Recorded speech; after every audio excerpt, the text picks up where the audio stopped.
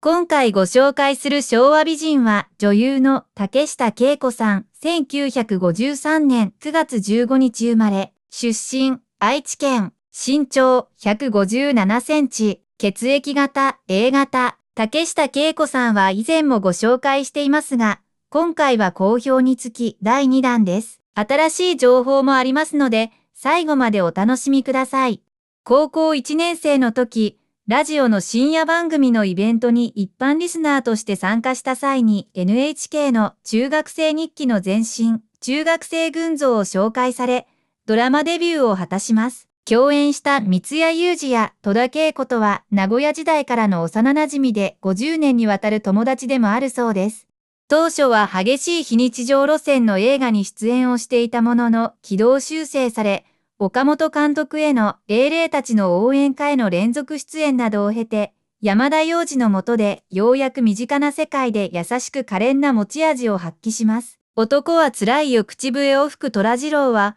小林信彦らにシリーズ後半の最高傑作と称賛される成果となり、虎次郎との思いがすれ違いで終わるマドンナを講演。好評を受けてシリーズではただ一人別々の役で3度マドンナに起用され、テレビでは北の国からへも起用されて代表作となりました。岡本、山田、倉本といった巨匠に連続指名を受けたことで、女優業は一つの軌道に乗った形となります。お嫁さんにしたい女優ナンバーワンと言われた彼女が主人公のソープランド女を演じたソープ嬢桃子シリーズも計8作の制作がされた人気シリーズとなり代表作となりました。以後も清純なイメージは失われなかった稀な女優となります。2021年1月4日、徹子の部屋出演時に昨年から白髪染めをやめてグレイヘアにしたことを話しています。最後までご視聴ありがとうございました。このチャンネルでは昭和の美人たちを紹介しています。よろしければチャンネル登録、高評価よろしくお願いします。